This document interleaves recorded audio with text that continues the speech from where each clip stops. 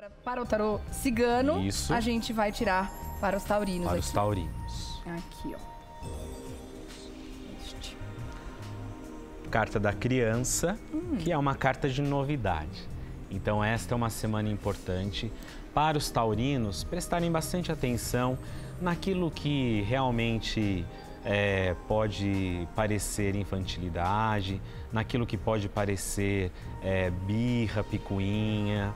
Então, por mais que você deixe a sua criança interior brincar, Ariano, é, Taurino, é importante que você ao mesmo tempo, não faça aí das suas atitudes e não tenha atitudes que, faz, que pareçam né, um pouco de infantilidade emocional ou imaturidade. Mas é uma semana de novidades, uma semana bastante importante para você se alegrar, se divertir e não levar as coisas tão a sério. Como eu disse, deixar a criança interior brincar. Tá bom, Tá bom? maravilha.